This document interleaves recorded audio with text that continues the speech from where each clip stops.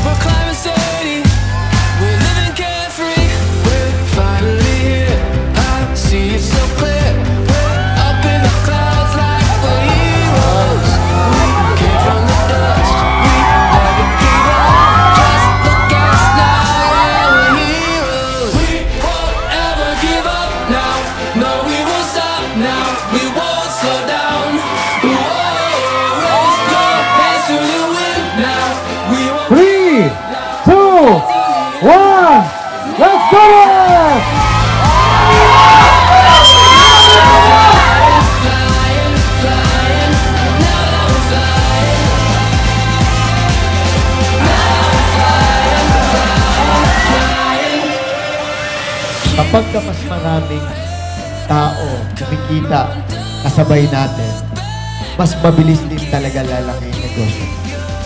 Yung principle na ganon, I think it has been effective for us for the past 16 years that we have been doing business.